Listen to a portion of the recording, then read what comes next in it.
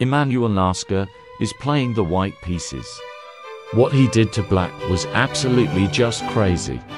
Do you know the name of the tactic he used? So many discoveries. So many checks.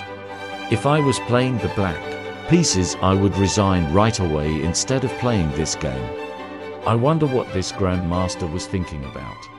If a legendary chess player uses this tactic, there's no hope. Only pain. Only suffering. White's back rank is covered nicely by the rook on a1. Black queen can only watch from afar to see black king checkmated.